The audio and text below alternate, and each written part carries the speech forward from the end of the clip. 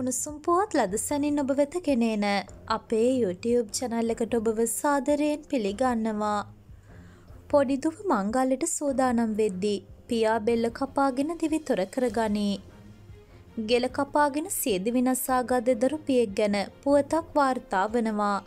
එනම් නිවසේ එළවලු කපන පිහියකින් ගෙල කපාගෙන සියද විහානි කරගත් දෙදරු පියකු පිළිබඳව දෙහි ඕවිට දෙල් ඔළුව ප්‍රදේශයෙන් වාර්තා වනවා. මෙසේ සියදු විහානි කරගෙන ඇත්තේ වයස් අවුරුදු හැටතුනක් වන අයකු බව දෙහි ඕවිට පොලිසිය පවසයි.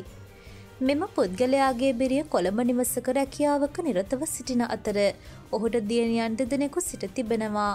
එක් දියණියක් විවාහ වී ඇති අතර අනෙක් බාල දියණිය ලබන දාසය වනදා විවාහ දිවියට එළඹීමට නියමිතව තිබී ඇති අතර විවාහයට අවශ්‍ය වැඩ කටයුතු සංවිධානය කර ගැනීමට බාලදියණිය මාතර මනමාලයාගේ නිවසට ගොස් එහි සති දෙකක් රැඳී සිට තිබෙනවා.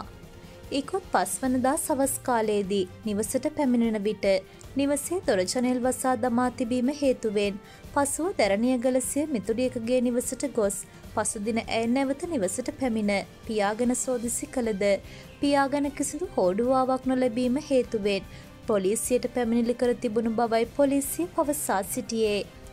ඒ අනුව පොලිසිය නිලධාරීන් කණ්ඩායමක් ඇය සමග නිවසට පැමිණ දොරගොළු කඩා ඊට ඇතුළ වී කළ පරීක්ෂාවේදී මුළුතැන්ගේ ගෙල කපාගෙන මිය ගොස් සිටි පියාගේ සිරුර හමු වී තිබෙනවා.